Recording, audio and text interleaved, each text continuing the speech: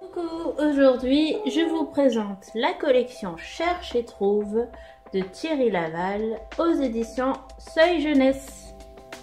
La collection Cherche et Trouve, ce sont différents livres dont le principe est toujours le même.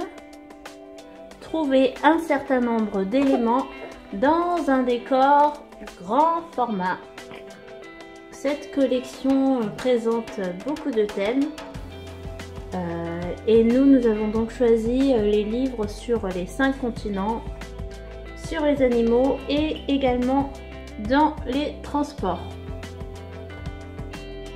Mais sachez qu'il existe aussi un chercher-trouve autour de toi, autour du monde, dans l'histoire, dans la nature et bien d'autres. Donc ce que j'apprécie beaucoup dans cette collection, ce sont euh, les décors qui foisonnent vraiment de détails. C'est un cherche-trouve qui est vraiment très bien fait, euh, qui est intéressant pour euh, les, enfants euh, un peu plus grands et qui, dans le cas du, livre sur les continents par exemple, permet de découvrir chacune des spécificités géographiques comme la faune et la flore ou encore euh, les continents.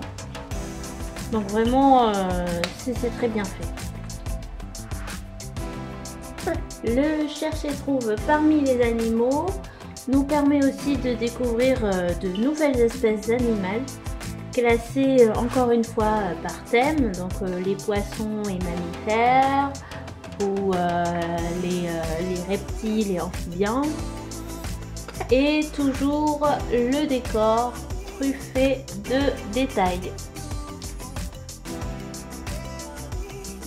Donc par rapport au décor, ils ne sont pas forcément réalistes étant donné que les animaux sont classés par, euh, catégorie et non par, euh, par lieu géographique mais euh, il nous offre quand même un beau panorama des différentes espèces qui existent.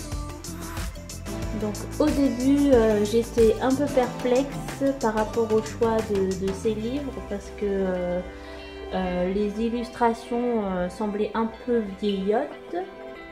Mais finalement ce livre connaît vraiment un succès fou auprès des enfants qui aiment qui aime vraiment les décors pleins de détails et euh, le principe du jeu de chercher et trouver euh, les différents éléments qu'on peut voir sur euh, les autres pages.